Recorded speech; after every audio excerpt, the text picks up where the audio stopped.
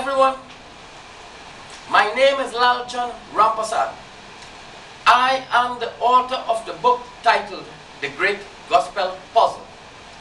The topic of this video is based upon Barabbas. He was inserted into the trial of Jesus Christ by Pontius Pilate. For those having the book can go to page 108.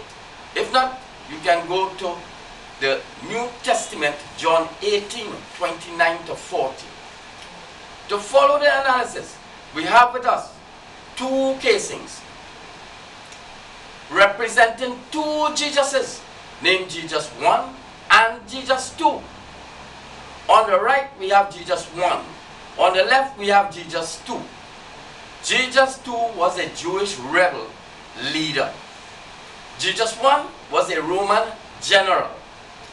Jesus 2 aspiring to be the king of the Jews. Jesus 1 aspiring to be the king of Rome. Jesus 2 claiming to be the Jewish Messiah. Jesus 1 claiming to be the Jewish Messiah.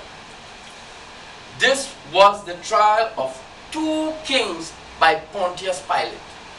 The purpose of the trial was to appoint Jesus 1 and Jesus 2 as kings for the day. It was known as the plebiscite or referendum for the approval of two kings on that occasion. Pontius Pilate was the superintendent appointed to adjudicate on behalf of the common people.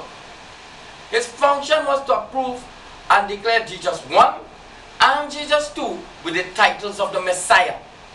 We can follow the events as it unfolds from the Great Gospel Puzzle, page 108, or John 18, 38 to 40, and John 19, 15. There were two groups of followers aligned to Jesus 1 and Jesus 2 as kings for the day.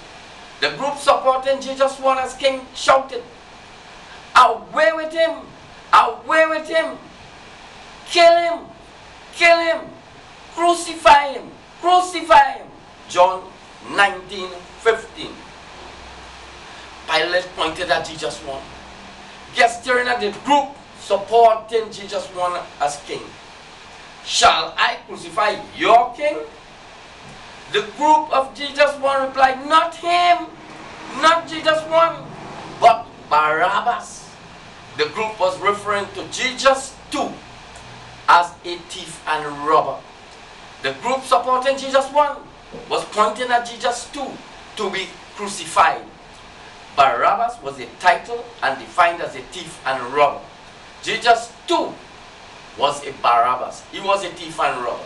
You can purchase the book from this